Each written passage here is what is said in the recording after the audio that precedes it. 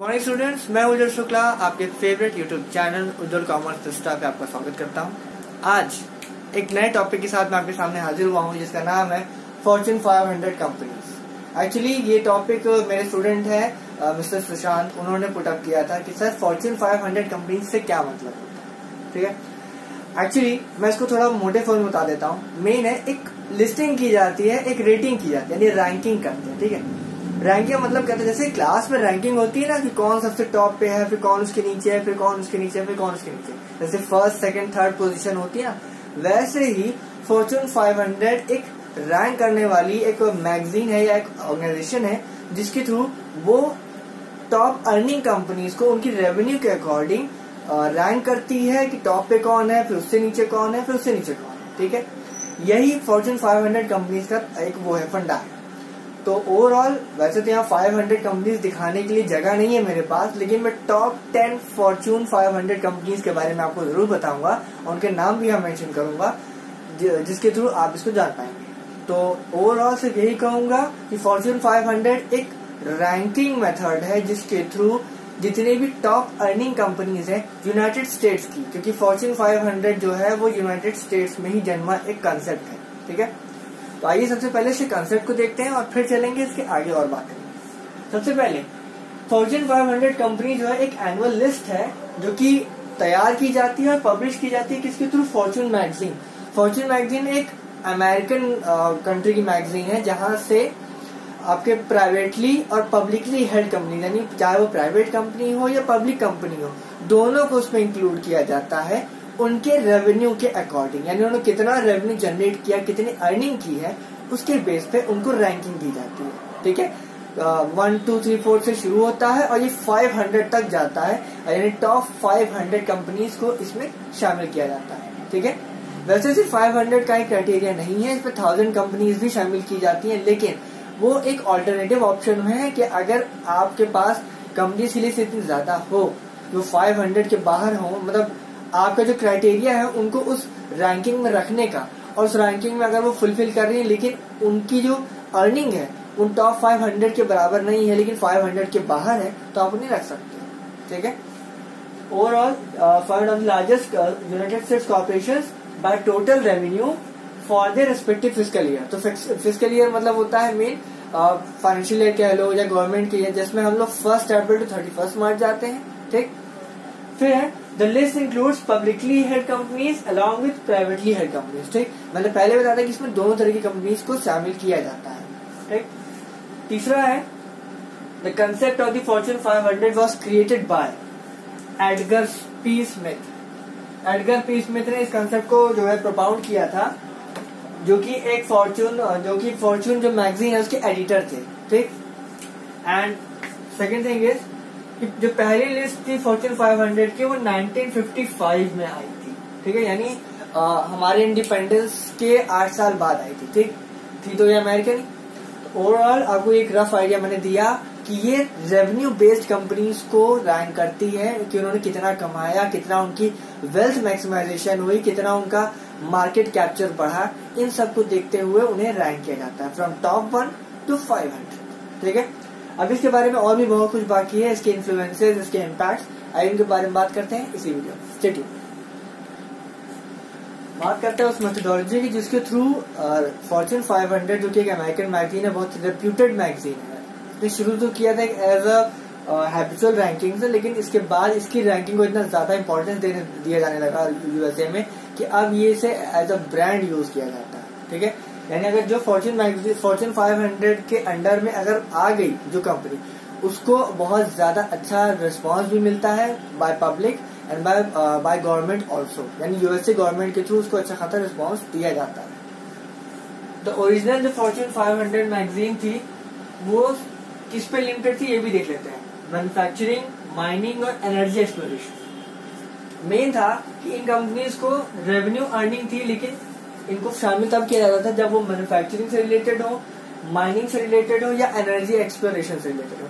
Manufacturing हम सभी जानते हैं raw material converted into finish goods फिर माइनिंग माइनिंग में जैसे वो खदानें होती हैं बड़ी बड़ी माइंस होती हैं वहाँ पे जाकर उनको उसमें से कोयला निकालना या कोयले से कोयला निकाल के उससे, उससे हीरा बनाना ये सब चीज़ें करना। और तीसरा था एनर्जी एक्सप्लोरेशन एनर्जी एक्सप्लोरेशन में आपकी कई तरह की एनर्जीज आती हैं। चाहे वो ऑयल हो गैस हो या कोई और पर्टिकुलर थिंग हो जिसके थ्रू हमें एनर्जी मिल सकती है। जैसे न्यूक्लियर है या एटॉमिक एनर्जी है, कुछ भी हो, ठीक है? तो इन तीनों पे मेन जो है फॉर्चून 500 का जो रैंकिंग थी वो बेस करती थी। लेकिन ये बहुत ही ज़्यादा लिमिटेड मामला था। तो इस लिमिटेशन को डीलिमिट करने के लिए फॉर्चून 500 ने एक और लिस्ट तैयार की टॉप 50 लिस्ट की, जिसमें आपके commercial banks utilities life insurance companies retailers और ट्रांसपोर्टेशन कंपनीज़ भी शामिल की गई। यानी इनकी भी टॉप 50 की लिस्ट बनाई गई और किस किस बेस पे बनाया गया ये भी देखिए। कमर्शियल बैंक्स को रैंक बाय एसेट्स एसेट्स के दम पे लिया गया। यूटिलिटीज को भी एसेट्स के दम पे, क्योंकि यूटिलिटीज का मतलब है हमारे लिए एक ऐसी यूजफुल यूजफुल वेंचर्स जिनके थ्रू हम अपने काम को इजी बनाते हैं। ठीक है? इसमें आपके नॉन बैंकिंग फाइनेंशियल कंपनीज़ भी आ सकती है, क्योंकि वहाँ भी यूटिलिटीज ही हैं। वो एज अ बैंक काम करते हैं, लेकिन एग्जैक्टली exactly वो बैंक नहीं होते, वो शॉर्ट टर्म मनी लेंडर्स होते हैं। ठीक है? फिर लाइफ इंश्योरेंस कंपनीज़ इनको भी एसेट्स के दम पे ही किया गया रैंक किया जाता टॉप फिफ्टी में।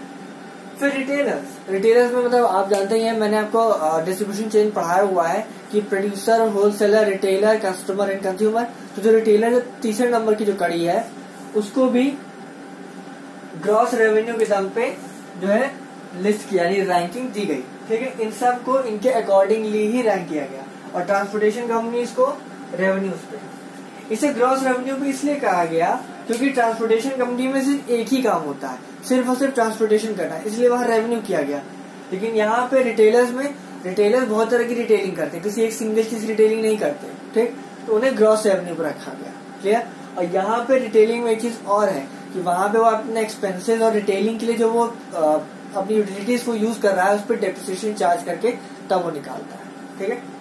तो ये थी पूरी पूरी आपकी कंसेप्ट कि किस कंपनी को किस बेस पे रैंक किया गया फॉर्च्यून 500 के अंडर ठीक है?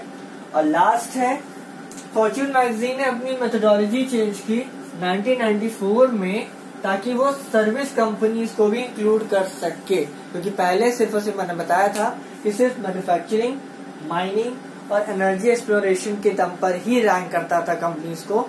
लेकिन उसके बाद उन्होंने उसको कमर्शियल बैंक्स को भी लिया यूटिलिटीज को भी लिया लाइफ इंश्योरेंस कंपनीज़ को भी लिया रिटेलर्स को भी लिया और ट्रांसपोर्टेशन कंपनीज़ को भी लिया। लेकिन इनके बाद सर्विस सेक्टर को भी लाने के लिए 1994 में फॉर्चून 500 अपनी मेथोडोलॉजी में थोड़े से चेंज कर दिए कि इन्हें भी रेवेन्यूज के दम पर भी देखा जाएगा कि ये अपने सर्विसेज़ से कितना रेवेन्यू जनरेट कर सकते हैं। ठीक है?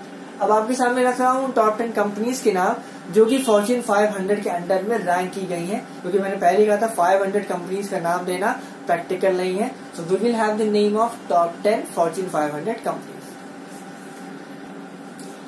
अब as per promise I am here with the top 10 Fortune 500 companies जिनके अलग अलग नेचर्स हैं। आइए देखते हैं। सबसे पहला वॉलमार्ट वॉलमार्ट के बारे में तो छोटा बच्चा भी जानता है कि एक रिटेल एक रिटेल कंपनी है अमेरिकन बेस्ड है, जिसने अभी अभी मतलब एक साल पहले फ्लिपकार्ट को टेक ओवर किया हुआ है, यानी फ्लिपकार्ट को परचेज किया और अब वो इंडिया में भी फ्लिपकार्ट के थ्रू रिटेलिंग करने जा रही है, ठीक है? दूसरी है एक्जन मोबिल एक्जन मोबिल ये दो अलग वर्ड है, एक सिंगल वर्ड ही है, जो साथ में होते हैं। ये है वर्ल्ड की सबसे लार्जेस्ट ट्रेडेड इंटरनेशनल ऑयल और गैस कंपनी और साथ ही साथ ये केमिकल मैन्युफैक्चरर भी है, जिसके थ्रू हमें एनर्जी तो मिलती ही है एनर्जी के साथ साथ और भी कई चीज़ प्रोडक्ट हमें अवेलेबल होते हैं।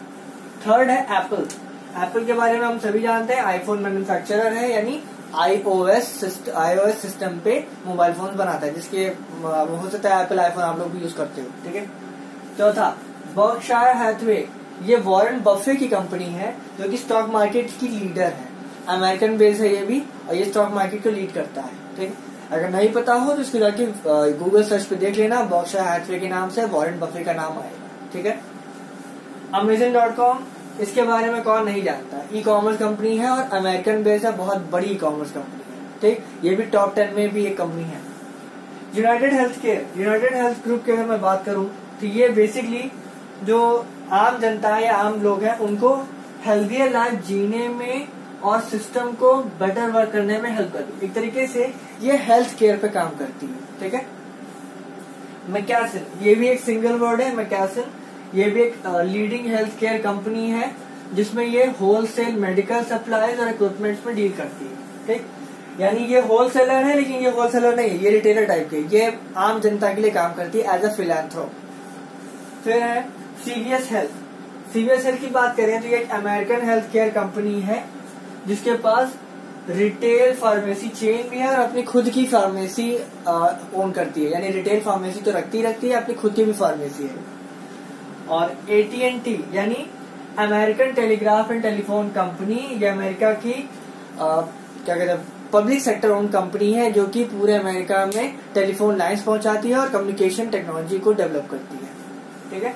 और लास्ट है अमेरिसोस वर्जन ये भी एक सिंगल नाम ही है। Global health care solution company है, जिसके पास फार्मेसी और चेन ऑफ़ फार्मेसी दोनों है, ठीक है? ये थी वो top ten top ten Fortune five hundred company जिसके बारे में मैंने प्रॉमिस किया था, उसको पूरा भी किया। अब आज के बाद मिलेंगे अगले वीडियो में, अगले कंटेंट के साथ। तो आई होप कि सुशांत जी को ये सारी चीज़ें समझ में आ गई होंगी और अच्छे से आ जाएँगी। अगर कोई दिक्कत हो तो ग्रुप के लास्ट में पोस्ट कर देना। इसके बारे में और डिटेल आपको डिस्क्रिप्शन में मैं प्रोवाइड कर दूँगा। ठीक है? Till then have a great day see you in the next video